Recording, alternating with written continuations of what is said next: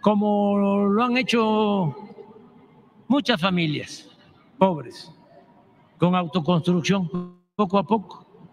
Ya tienen dos cuartos, tienen un baño, pero y, tienen su solar, les queda su terreno y se casan, ¿no?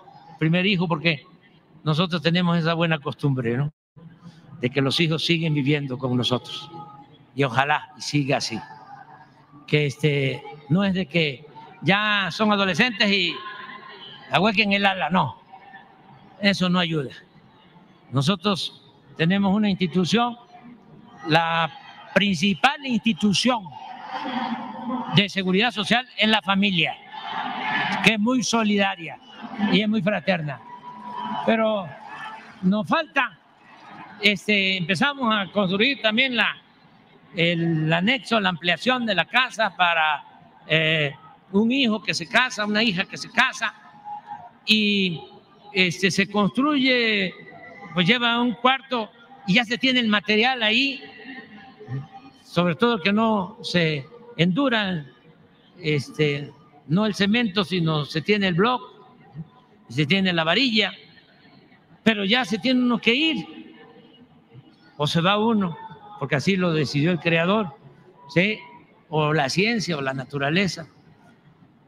Pero qué felicidad que quien va a quedar, ¿sí?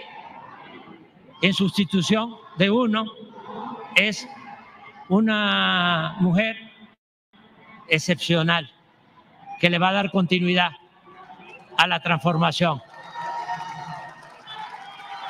Por eso me río, porque las cosas que van a quedar pendientes, pues estoy absolutamente seguro que se van a concluir por lo extraordinario que es la presidenta electa de México, Claudia Sheinbaum.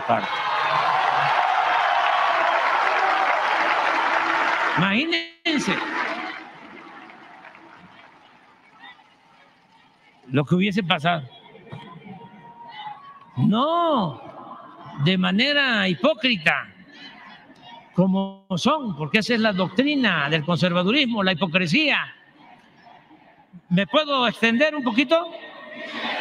Bueno, ya tengo permiso. De manera hipócrita, cuando la campaña decían que no iban a quitarse los programas de bienestar. ¿Sí se acuerdan, verdad? Hasta firmaron con sangre.